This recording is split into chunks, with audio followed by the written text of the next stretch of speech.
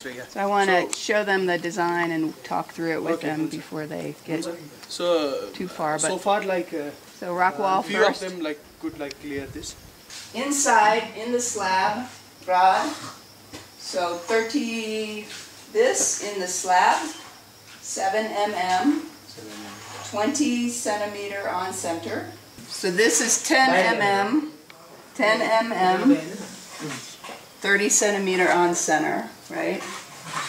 Uh, on center, right? Oh, on So, center, each way. While you are saying center, Day three of construction. It was rainy, so Emily and I put up a tarp. I think it's a little confusing to the workers, but uh, we're excavating more pipe up here. I'm up kind of near the tank, um, and you can see how much progress we've made. All this loose soil is where the, the trench has been dug, and we're working. I don't know if you can see them. Working down by a telephone pole, uh, finishing the construction for the pipe digging. Um, we also today decided where to do the drainage for the tank. So the tank is drained a few times a year for cleaning at the least. Um, so this loose pipe up here is the beginning of the drainage pipe. We're going to purchase some more in Charikot to um, connect it fully. But if you follow, it follows the same trench until you get to here. You can see it's unburied. And so the water's going to drain out here.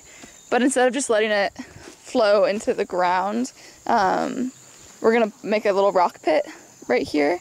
Uh, so like it's an energy dispersion pit, basically. So when the water hits it, it doesn't just erode the crops in the fields. It's uh, June 9th, right? 2018, right? 8 p.m. We're all just sitting here. We're just chilling, you know.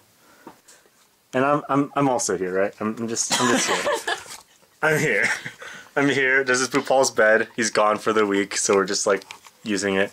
We're all just sitting here, and I'm like, huh? Let's just look through some photos. So looking through some photos, and then uh, I feel something in my mouth. and, it's, and, and I like spit it out, and it starts fluttering on the bed. I'm like, what is that? It was a was praying it? mantis. Praying mantis. And according to James, it flies in through the door, makes an arc directly into my mouth. Honestly, Emily freaked out more than Daniel did. Yeah, that's true. I always do.